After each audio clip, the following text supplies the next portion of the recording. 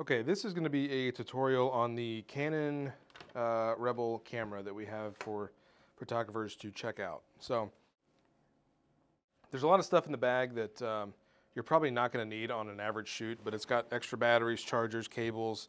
Uh, it's got several lenses in here, but the one you're really going to want to look for uh, is this little guy, the 50 millimeter prime lens. Uh, this is what's going to make your interviews look really, really nice um, and really, really sharp, even with this older camera. So uh, it's of course got a lens cap. You're going to want to take the lens cap off. This has got a lens cap.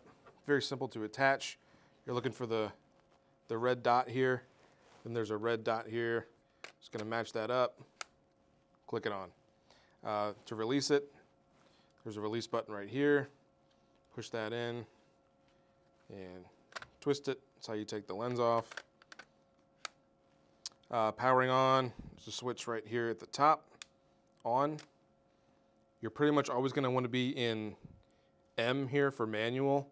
Of course, you can play with a lot of the other dials, but the M is gonna be set up to work pretty much automatically um, the way we have it set up. So on the screen here, there's, there's a lot of things that uh, you're probably not gonna need to pay too much attention to, but uh, just for a brief overview, you can see, see here an AF in this corner. That means it's in autofocus mode, which is uh, pretty good uh, on this camera. If you want to switch to manual, you need to go up here to the lens and flip from AF to MF for manual focus, and then you have control over the focus ring here. Uh, for interviews, I would just suggest leaving it in autofocus. The autofocus is not super fast, but it's still good and it will lock on to your uh, subject and uh, keep them in focus. So generally keep that in AF mode there. Uh, if you go down here a little bit, it's going to be really hard to see, but there is uh, an icon for your resolution and your frame rate. Uh, right now it's set in shooting in 720 at 60 frames per second, which for, for taking it straight to Avid, you're not going to have too much issue with that. Smaller file size is probably better. If you want to change that, you can go into the menus and do that, but again, I would just leave that where it is. Still difficult to see, but there's an AWB for auto white balance. Um, typically leave that alone. It's good enough in auto white balance. Uh, down here is what you're really going to want to pay attention to, though. Uh, some of these uh, numbers, if you can see that. Uh, the 125, that is your shutter speed. Generally, a good rule of thumb is you want your shutter speed to be about double what your frame rate is. So if you're shooting in 60 frames per second, you're going to want this to be around 120, 125 uh, is a good place to be. Uh, this is the ISO.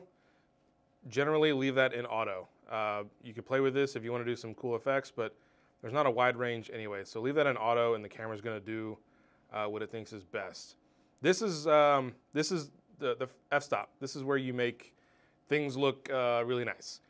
So the lower the f-stop, the uh, better the depth of field will be. This can go down to a 1.8, which is very good. Uh, for interviews, you're going to want this at a 1.8. Otherwise, there's no reason to be using this lens.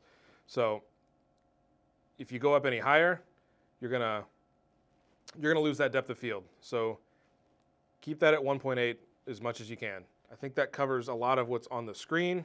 Um, this is the record button, start stop for video. You can switch to photo and video here. Um, the battery meter is going to be right here on top of the screen. It's going to be difficult to see, I think, but uh, it's there, right there on the screen to see how much battery you have. Other than that, there's probably not a lot of things you're going to need to be messing with on the camera here. Uh, to get to the SD card, it's right in here. Yeah, so I'll do a little bit of demonstration now. Okay, so here's just a little side-by-side -side comparison of um, of a chair sitting in the sports office. Uh, you can see here is your standard CX350. We're probably about seven or so feet away. Um, I'm pushed in just a little bit on the CX350 uh, to get the same type of shot that I have with the 50 millimeter prime. So of course with the prime lens you have no zoom capability. So you have to set up your interview at the right distance in order to uh, achieve the look you're, you're going for. Uh, so you need a little bit of room uh, between you and the subject. Uh, but you can see the difference just very clearly, the, the depth of field you get with the 50 millimeter prime, uh, how it just kind of blurs out that background where you don't get that with the CX350. Um, and of course, you can really uh, amplify that when you get some nice lighting. This is just the standard office overhead lights. Um, if you get some nice lighting on the front, and then of course a little bit of a backlight, uh, you'll really separate your subject from your background, uh, which gives some really, really nice looks. So this is just a quick demonstration of um, how to set up and use and the difference between uh, these two lenses and, and, the looks you can achieve. Of course, if you have any questions, feel free to uh, ask. Hope this helps.